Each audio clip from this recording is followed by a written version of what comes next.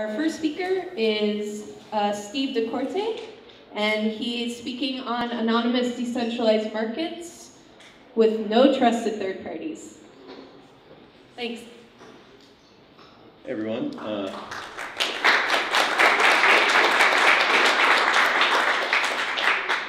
so uh, this is uh, about BitMarkets and on a decentralized market. This work was done with uh, some friends of mine, Rich Collins, uh, Chris Robertson, and Adam Thorsen.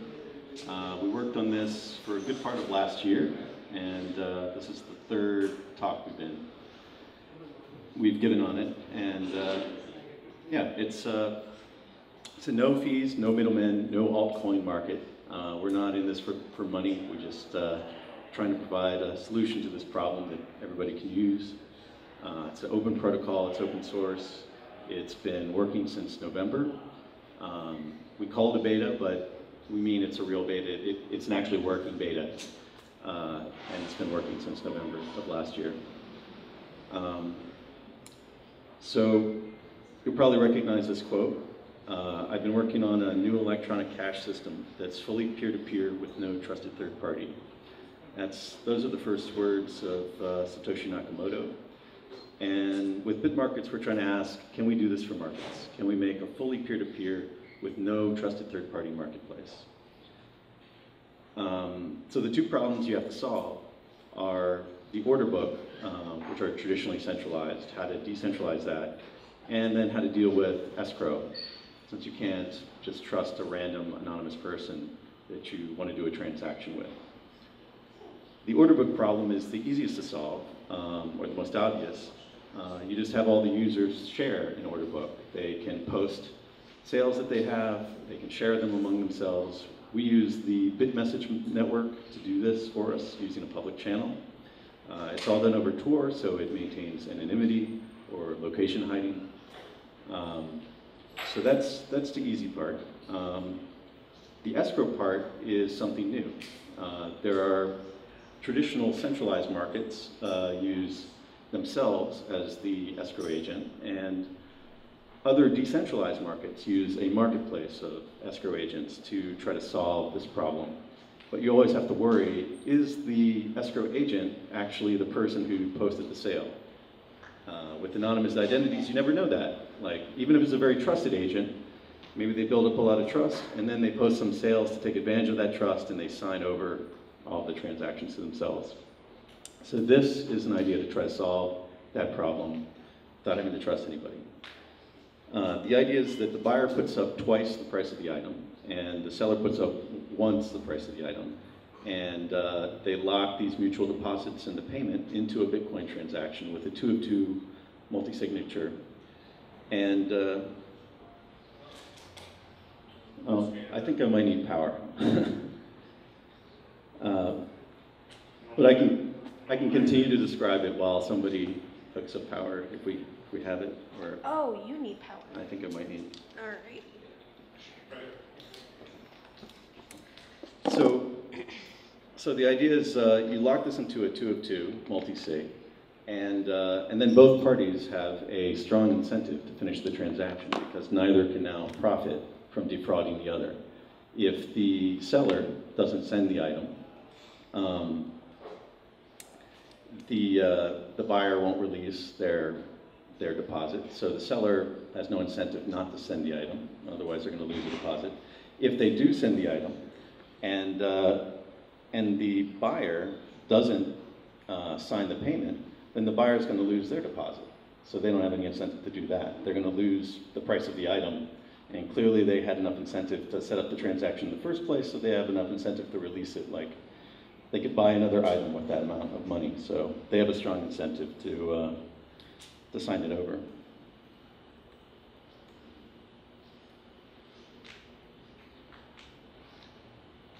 So yeah, this is just a diagram kind of showing that. Both sign the escrow, it's locked into a Bitcoin transaction. We get a lot of questions about where are these Bitcoins stored? Uh, and uh, you kind of need to understand how multisig works. These are locked in a Bitcoin transaction. So they're in the network, but nobody can spend them until both agree how they're going to be released. And uh, you can sign a release transaction, or you can sign a refund transaction. But both parties have to decide which of those they're going to do. And uh, we think that using this system, uh, neither can profitably defraud the other. And uh, it, it seems pretty clear from that that any repeated bad actors are just going to go bankrupt very quickly. So on the long term, even if there are malicious actors at first, they're going to go bankrupt, and you're only going to be left with the people who act in good faith. Here's a little chart to kind of make it, uh, I hope you can read it, to make it a little clearer that the only situation in which either party can profit is if they both act in good faith. Um, I kind of already went, went through this, but uh, there's an asymmetry to who loses how much, depending on who defrauds the other. But uh, no matter who defrauds the other, you know, the defrauder is going to lose money too. Um, the sort of game theory behind this uh, is related to the ultimatum game. It's a psychological experiment uh, you may have heard of where they take two people who don't know each other. Uh, they set them down and they say, you can't talk to each other, but we're going to give one of you a big stack of money, and you have to decide how to split it with the other person, and they get to decide whether they accept it. Uh, if they don't accept it, we take the money away from both of you. If they do accept it, you both get to keep it. And what they found when they carry out this experiment with people across different cultures is that for the most part, unless it's uh, roughly half and half, maybe like 40-60 split, the other person will punitively turn down the money, even if they don't know the other person, who could be just a, a stand-in for the experimenters, right? This is free money, basically. They will punitively give up free money in order to uh, penalize the other person for acting in a way they consider unfair. So our system kind of relies on the results of that experiment, that uh, people will act punitively, and uh, as long as they're willing to do that, it'll keep everybody honest. So this is what the user interface looks like. Um, this is the, the Bitcoin wallet for it. Right now, it's just running on OS 10. Uh, we're working on porting it, the same code base using GNUstep to Windows and Linux, and hope to have that done uh, later this year. Uh, this is what browsing posts look, looks like. Uh, it's pretty easy to go down into a category you choose, which uh, geographical region, region you're in. We basically divide them by where you can mail something without having to worry about it going through customs.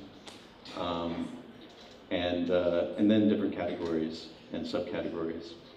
And you can post items, describe them, include a, a single photo of them at the moment and uh, browse the ones that you find.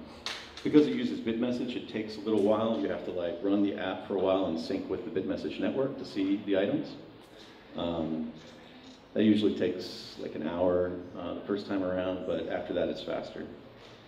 Uh, this is what it looks like to post a sale and to follow it through the different, the different stages. It's hard to read on the screen, but these different sections here are whether it's listed, whether you receive bids, the, uh, whether the escrow is locked.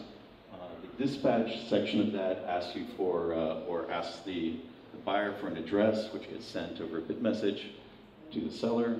And when the seller uh, sends that, they wait to see the, uh, the buyer has requested a refund or a payment. And they can accept that and it's complete.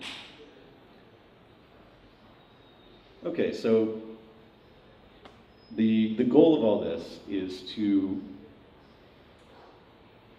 create the possibility of doing transactions in a new kind of way, in a way that doesn't involve the typical systems for, for creating trust, which are, which are courts, people with guns, you know, that show up and say, you, you, were, you defrauded this other person and we're going to set this straight. Maybe they are on the right side of that, maybe they're on the wrong side of that, who knows? But, uh, but with this system, we hope you can do a whole set of transactions, maybe not all transactions, but maybe a, a large set of transactions that would normally be done without any of those traditional mechanisms, uh, a voluntary economy. Um, so the app, the source, the white paper, the protocol spec are all available, and uh, we would welcome any contributors or users, uh, and I welcome your questions.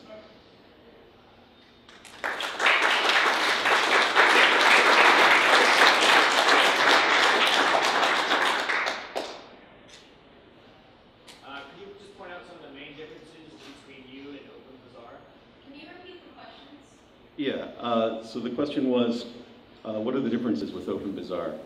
Uh, the main one that we see is that OpenBazaar uses a marketplace of escrow agents, or at least that's one of the models um, that they're proposing. Ours doesn't have any escrow agents, it's all two-party escrow. Um, there are some other ones about how they implement their transport network, their messaging network. We use, we just build on something that already existed BitMessage and that we trusted.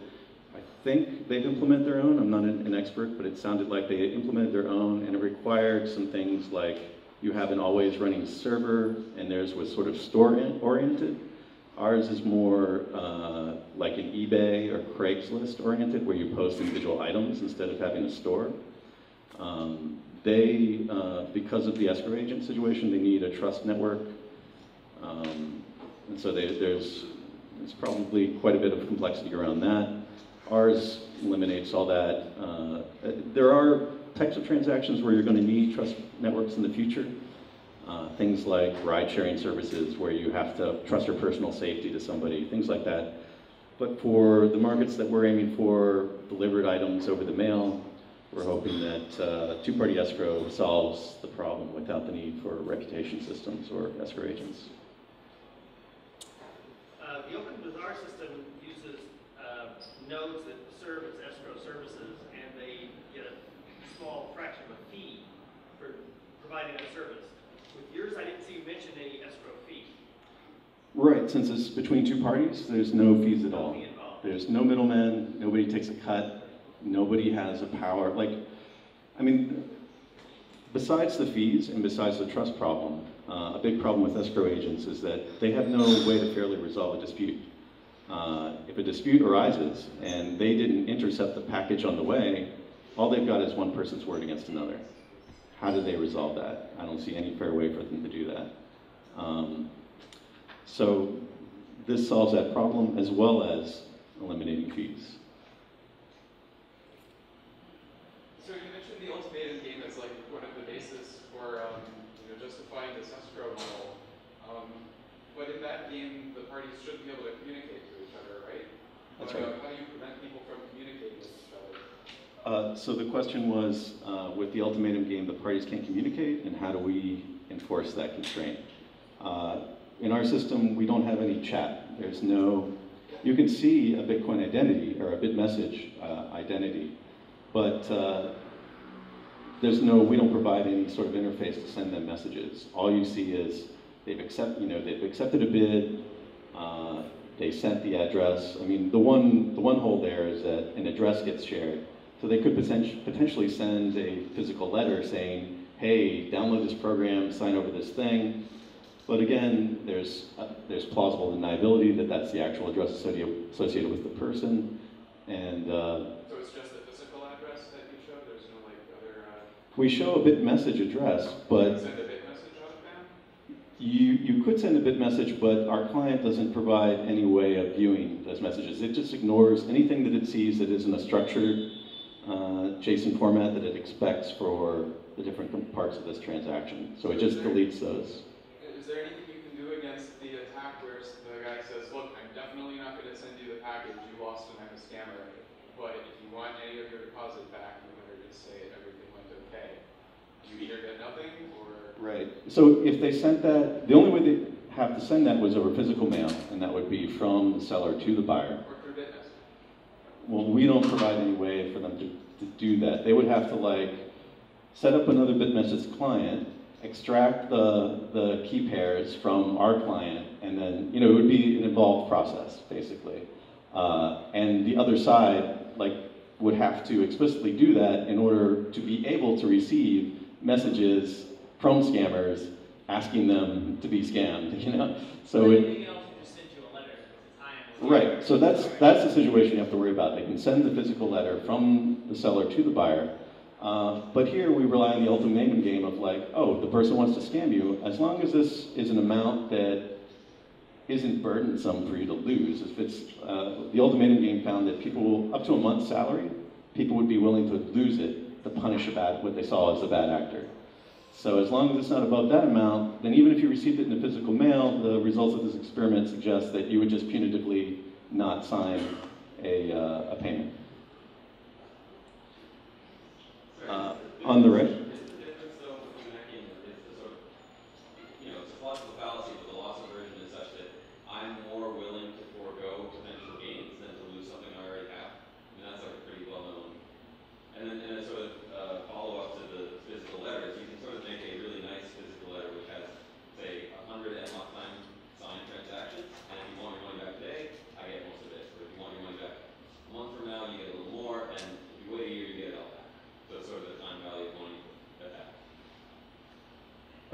That was a, uh, sort of a comment more than a Yeah. question, okay. Uh, How long until this product is going to derail people, or perhaps make obsolete things like small claims courts, civil lawsuits? That's where I'm envisioning all of it going, I was wondering if you felt the same. Uh, I don't know how to predict that. Uh, I've actually been surprised that we've had this working since November and no one seems to be interested so far. Uh, I'm, I'm, this is actually really awkward for me to give presentations. I'm a developer, not a marketing person. And I kind of, after months of no one being interested, thought, oh, maybe my time would be better spent telling people about it than it would be spent working on it. So that's kind of why I'm here.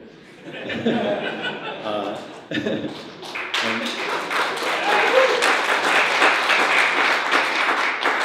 and I'm really glad to see so many people seem to be interested in it. Um, so, so far I've been surprised, uh, and uh, I don't think I'm good at making predictions about that, but that's what we'd like to see. Um, that's like the expected outcome once this takes off, is that people are going to be comfortable enough in knowing the utility that each player, um, has for making the transaction, that it becomes a very sure thing, that the outcome will be exactly the same every single time. Is that where? Right, yeah. Our, like, one of the big problems we've had is just explaining this idea that this can solve the problem without a third-party uh, escrow agent. People are kind of used to that. Like, all markets up to this point have always used a third party, whether it's the marketplace itself or other parties. They've, or being able to, you know, appeal to the courts or something and having a signed document. It's a new idea, and it's really hard to kind of communicate it. I don't know how to do it. you know, we're still trying to figure that out. Um, and yeah, welcome your suggestions, anybody's suggestions on how to do that. Uh, John? Do you think there might be uh, mental hurdles for people because there's actually a cost to buying things? Like, when I buy something off of eBay, I pay once, but with this system, I pay double every, you know, for everything. Right. Uh, so the, yeah, the question is whether the, the buyer having to put up twice the amount is, is one of the problems. Uh, it seems reasonable that that might be. Um, until, until it's like really clear that what you're buying with being, with putting up twice the price is the guarantee that no one can profitably defraud you, which is really valuable. Uh, and as well as the fact that the seller has to put up a deposit, uh, and that gives them a strong incentive to get the item out the door as quickly as possible. Like with a lot of Kickstarters, you kind of wonder, eh, are they just holding my money and earning interest on it, or you know, uh, or with any any any company you order something from, they can kind of make a if it's significant enough amount of money, they can make money just on the float of like waiting to manufacture and send out the item. With this, you have an incentive. They have an incentive to send it out as quickly as possible. So you're buying that as well with the extra price. But but yeah, yeah, that might be a problem too.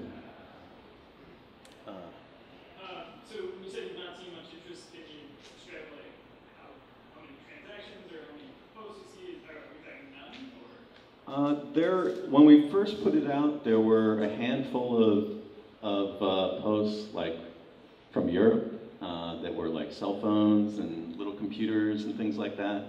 Uh, there was one guy in the UK that I think was selling cigarettes. Um, and that was about it. And we haven't seen much since then. Uh, I have a couple posts on there myself of things I actually want to sell, like things that I would sell on Craigslist, but the market is too small locally.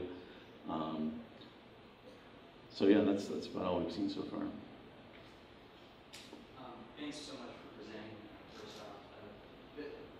just wondering about, this might be a bit of a huge question.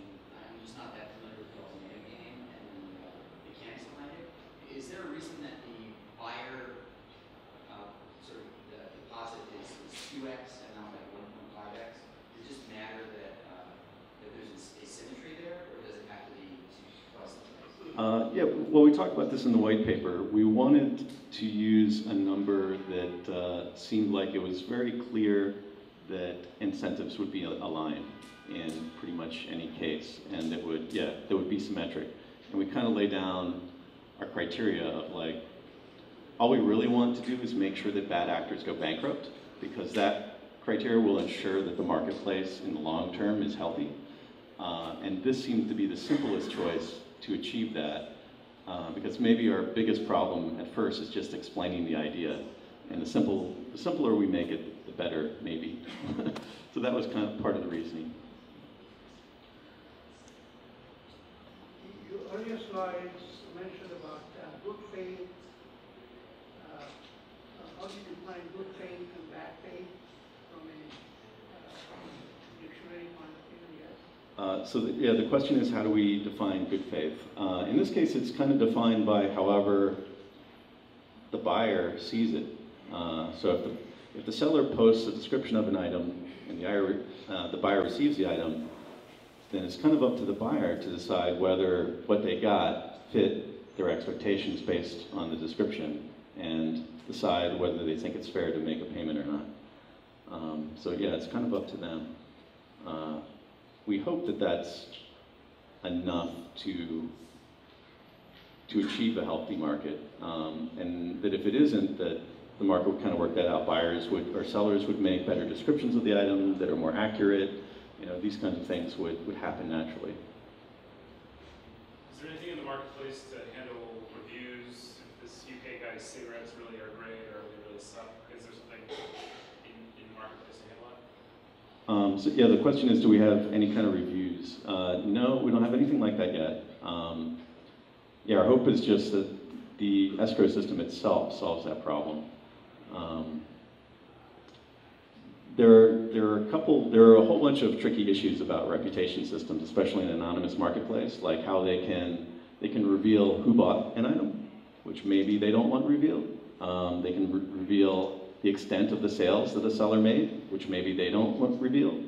Um, so it's really tricky when you start to do things like reviews, and our hope is that we can avoid all that tricky stuff, all those potential complications with the escrow system. That alone will be enough to um, to guarantee uh, you know good faith actions. The one thing they can do is if you when you look at each post, you can see the uh, the BitMessage address for the seller.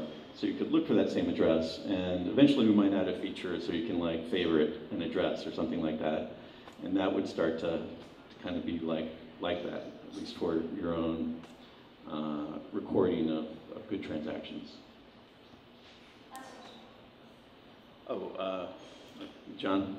Um, have you have you thought about adding support for color coins so so people could use maybe like fiat denominated uh, currencies uh, that can still you know have this uh, multi-sig transaction just so people aren't exposed to the price volatility during the escrow period? Uh, yeah, so the question is, have we considered some kind of colored coin uh, that maybe has a trusted third party that redeems it for fiat? Uh, yeah, just just support for some color coin protocol. Right. Um, yeah. One of the problems is that we do all of our prices in Bitcoin, which is which can be a little volatile. Um, but our thought is kind of just to resolve that by letting sellers not accept the post if the price, you know, changed too much in the wrong direction, and repost with another price. Uh, and we have a feature to remove a post, uh, so the seller can send a message saying, this, this post isn't active anymore. Um, Well, there's the transit period too, so like, you know, it could be a week before the seller sends the item and they actually get their payment. That's true. Um, one thing that would distort the escrow system is if there were vast changes in prices, like, you know, a double, a, more than a doubling in, in price could change whether their incentives are still aligned with their deposits. Um, so yeah, that's a problem we don't, we don't really have a solution for. Uh, hopefully it, it's not a big problem. Uh, whether like an altcoin or something could solve that, I'm not sure. Uh, so far, we haven't seen anything, any, any altcoins that would really, or colored coins that would offer that, and they would all introduce some kind of trusted third party, which is a, it's a risk as well. Thank you.